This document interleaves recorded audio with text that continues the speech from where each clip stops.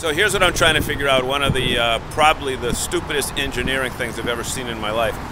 I'm outside the DCU Center in Worcester, and um, it used to be um, four lanes where you could you could uh, drive up here, let people off, and uh, still have the traffic flow. But then the brilliant people decided to.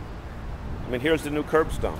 This all this black black stuff used to be road, and now it can't be. So, would somebody try to tell me who the engineer was that figured out that take the busiest intersection in the city and chop off half of the uh, road access? So, there we go. If anybody knows, post it here. Have a great day.